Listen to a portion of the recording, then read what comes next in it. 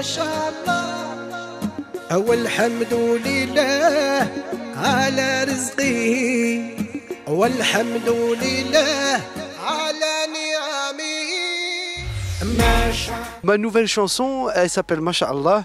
C'est une chanson que j'ai fait, euh, j'ai faite à Marrakech parce que j'habite à Marrakech depuis, euh, depuis 10 ans.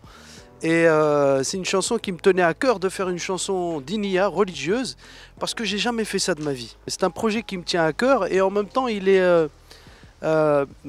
Ça veut dire que j'ai- euh, grandi avec une grand-mère qui euh, chante le Mdah. Et c'est pour ça que je voulais absolument.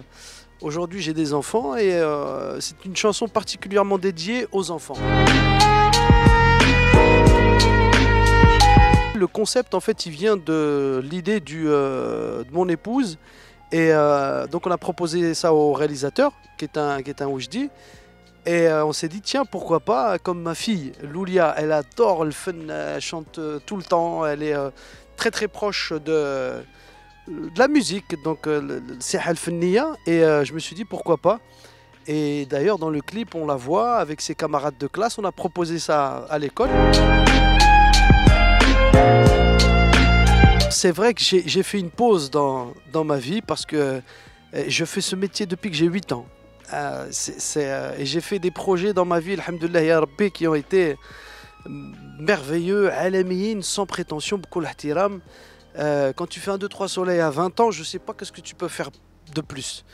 Et, quand tu chantes devant Michael Jackson, crois-moi que tu as 20 ans, même, même, même 18 ans, c'est voilà. Donc ah, du coup là, ça fait 5 ou 6 ans, euh, je suis revenu un petit peu avec une chanson qui s'appelle euh, Ranim à Mohamed Assef. Et, et à partir de ça, on a continué avec Mon Dieu, avec euh, euh, Smile, Histoire Sheba, et, et aujourd'hui la, nouvelle chanson. Mais il y a plein de projets, Inch'Allah.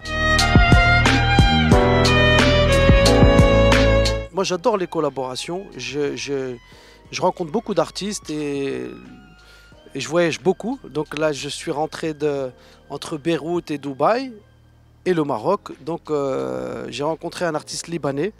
Je ne veux pas donner son prénom parce que pour garder la surprise, c'est un grand chanteur libanais et euh, on va faire un mélange avec le compositeur Mohamed Rifa'i. Et je voulais mélanger le rail, Debke, la musique Gnawa avec un petit peu de jarra. C'est très spécial, mais vous allez voir, ça va être magnifique, Inch'Allah.